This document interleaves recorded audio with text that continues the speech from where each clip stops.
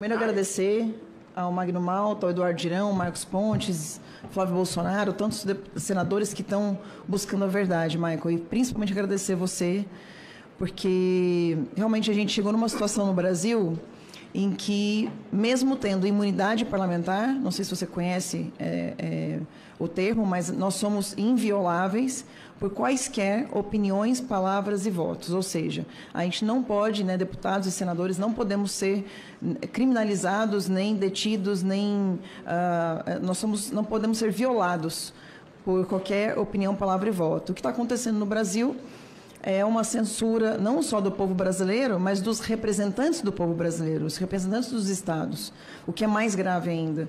É lógico que é grave censurar a população, mas censurar os representantes da população que estão aqui para justamente poder falar, falar, somos parlamentares, poder falar o que a população às vezes fica com receio de falar. Imagina se nós somos censurados, imagina eles. No dia 15 do 11, nós fomos, eu fui para os Estados Unidos e eu e o Paulo Figueiredo apresentamos uma notícia para a Comissão Interamericana de Direitos Humanos em descumprimento do artigo 13 da Convenção Americana de Direitos Humanos. Então a gente apresentou é, no inciso 1, que toda pessoa tem direito à liberdade de pensamento e de expressão. Esse direito compreende a liberdade de buscar, receber, difundir informações, ideias de qualquer natureza, sem considerar a fronteira, sem considerar o verbal, por escrito, se é verbal, por escrito, enfim. Também uh, consideramos o artigo 13, no inciso 3, que não se pode restringir o direito de expressão por vias ou meios indiretos.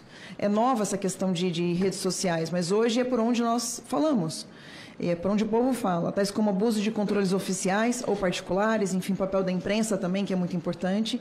E aí a gente fez uma denúncia uh, de trouxemos dezenas de conservadores brasileiros que tiveram problemas, entre eles, por exemplo, desde pessoas que foram desmonetizadas, e foram dezenas de, é, de desmonetização, né, de tirar a monetização da rede social, principalmente do YouTube, de pessoas que viviam disso, como, por exemplo, a Bárbara, do canal Te Atualizei, que foi desmonetizada já, acho que há quase quatro anos, três anos. Hã?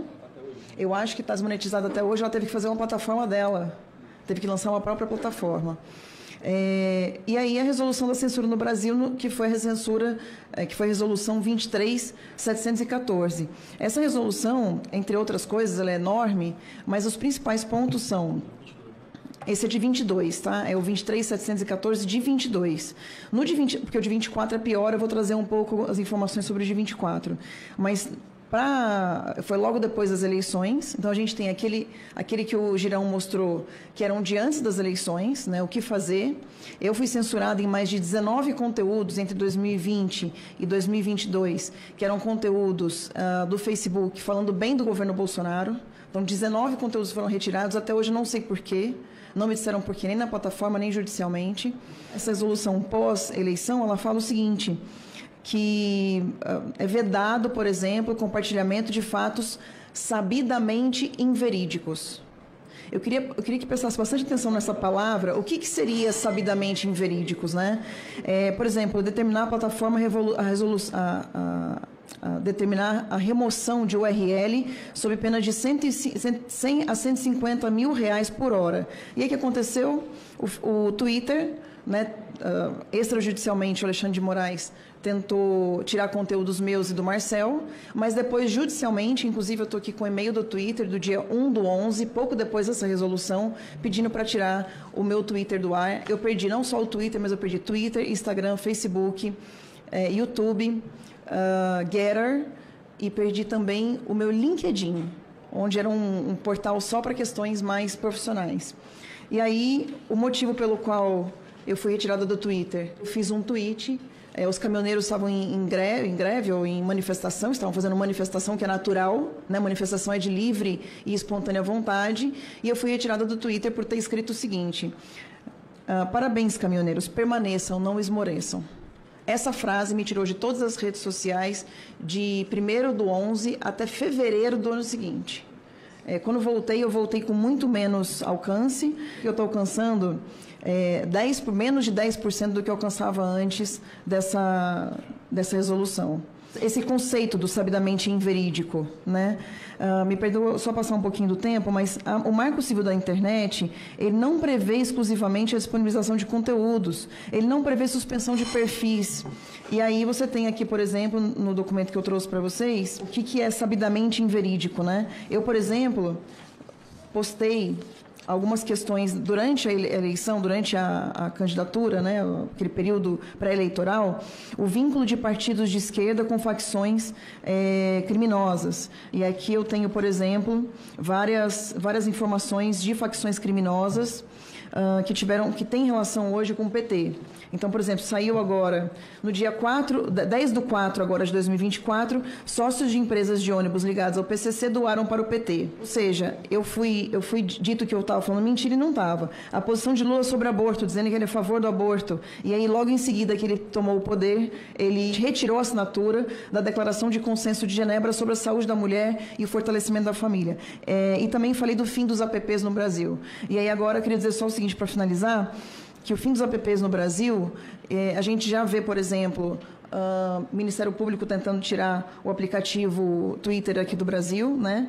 A gente vê, por exemplo, o Ministério Público de São Paulo, até queria pedir ao senador Girão que convidasse o advogado Rafael Batista, que trabalha no Twitter, no, no X agora, né? É, Para que ele possa falar, porque ele foi é, coagido várias vezes pelo MP de São Paulo e Uh, ele precisa estar aqui. Uma outra atitude que a gente tem que tomar, Marcel, é in, instantaneamente a gente colocar a CPI do abuso de autoridade. É, é algo que precisa mesmo, porque tudo isso está acontecendo é um abuso de autoridade. É, e aqui, por fim, os países onde o X, né, Twitter, é proibido por ordem judicial: China, Irã, Myanmar, Coreia do Norte, Rússia e Turcomenistão. Esses países são os países onde o X não existe. Imagina só que a gente está prestes a talvez perder aqui no Brasil. É só uma questão de ordem. Porque eu falei da resolução de 2024 e eu acho que o Senado e a Câmara precisam ficar muito atento a isso, porque primeiro estão passando por cima de legislação. E segundo, que está muito mais grave que a resolução de 2022, Marcel. Por exemplo, eles dizem o seguinte, que para poder classificar, eu acabei de falar né, sobre conteúdos verídicos ou inverídicos, o Fernando também, olha só, para que eles possam classificar o que é verdade ou não, a, essa, essa fonte fidedigna tem que ter firmado um termo de cooperação com o, termo, com o Tribunal Superior Eleitoral. E eles mesmos vão escolher quem vai determinar o que é verdade ou não. É pior ainda do que o PL 2630. Esse descumprimento também, uh, por exemplo, é dever do provedor aplicar de internet para impedir ou diminuir a circulação de fatos inverídicos.